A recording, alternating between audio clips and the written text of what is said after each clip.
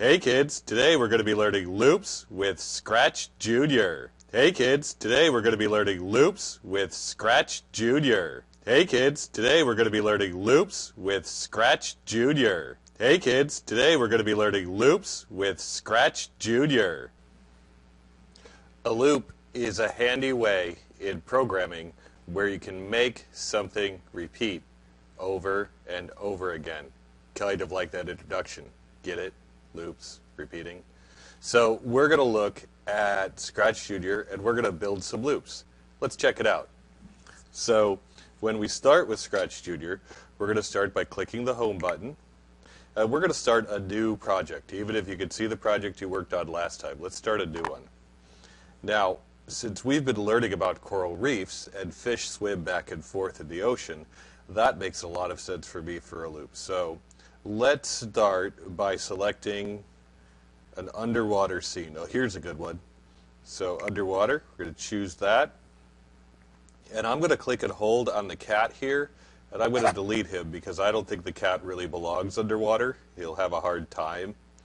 So then I'm going to click the plus, and I'm going to choose a character that should be underwater.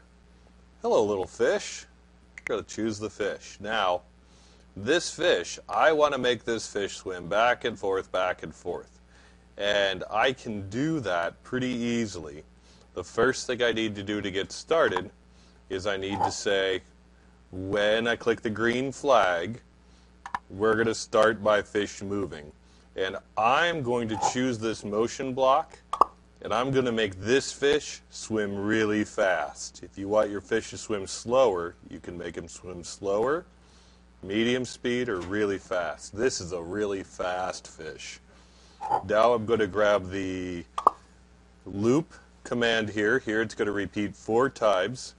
And I'm going to give this fish some motion. I'm going to make him go forwards. We're going to go forwards, let's say five times.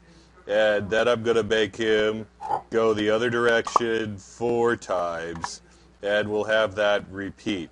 Now if I click on this, we get to see what the fish is doing.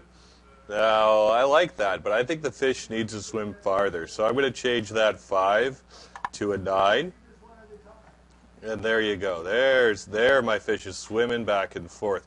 But it's a little too fast. I'm going to slow him down to medium speed there. And I like that a lot. So you can see the important parts of this are there's this loop Uh, and then there's a swing back and forth, and he repeats it. Now, if we want to keep repeating it forever, we could just put this red loop block on the end. So those are the most important parts of what's going on here. Let's go ahead and try this ourselves. Why don't you design your own coral reef? Have your fish swim around. Maybe you're going to change the color of the fish. Maybe you're even going to have the fish talk a little about themselves and the environment they live in. Check it out. Have fun, guys. Can't wait to see the projects you have. At the end of class, we'll put some up on the screen. So do a good job, okay? Wokka out.